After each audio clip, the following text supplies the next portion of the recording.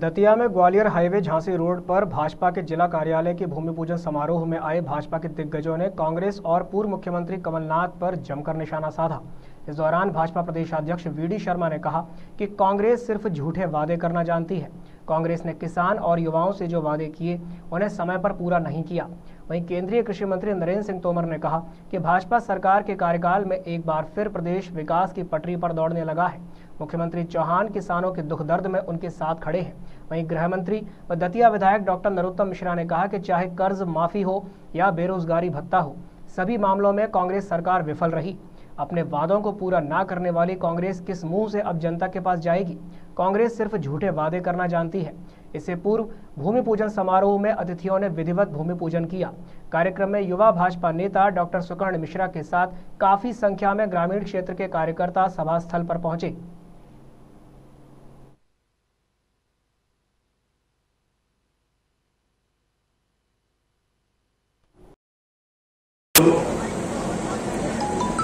जब सबसे अच्छा कलेक्ट्रेट भवन कोई कहेगा तो कहाँ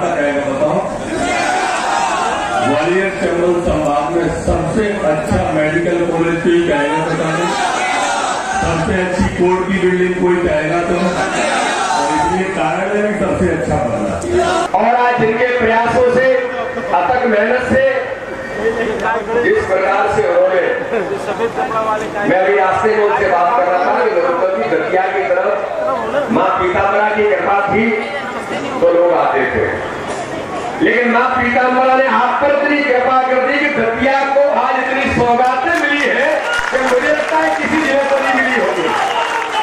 और ये जो है माई की कृपा ही हो सकती है। बोला है कि नहीं? ये माई की कृपा से ही होता है इतनी शक्ति देना इतनी सोच देना और काम करने की इतनी क्षमताएँ देना जो सामान्य संभव नहीं होती है ये माई की कृपा है। कि डॉक्टर नरोत्तम मिश्रा जी हमारे गृह मंत्री और इस क्षेत्र के हमारे विधायक आज उन्होंने भारतीय जनता पार्टी के कार्यालय के लिए जो प्रयास किए हैं, उसके कारण से आज एक भव्य कार्यालय का यहाँ पर भूल पूजन का जो कार्यक्रम है, ऐसे आदरणीय डॉक्टर नरोत्तम मिश्रा जी। प्रसन्नता है कि डॉक्टर नरोत्तम मिश्रा जी ने आप सबकी प्रेरणा से ज़िले की आवश्यकता के अनुसार कार्यालय बनाने का संकल्प किया।